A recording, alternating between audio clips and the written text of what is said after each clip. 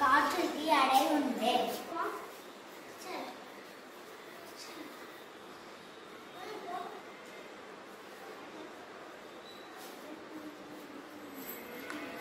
காற்றினால் பொருளை தூக்க முடியும்.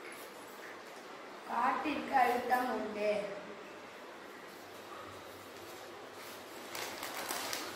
காற்றினால் புத்தகத்தை உயர்த்த முடியும் காட்டிற்கு மரம் இல்லை. காற்றை உணர முடியும் ஆனால் பார்க்க முடியாது.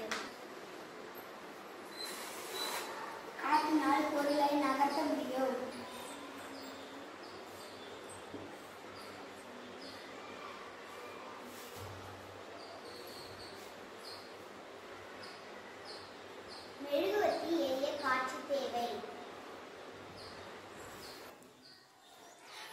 காற்றிற்கு திசை உண்டு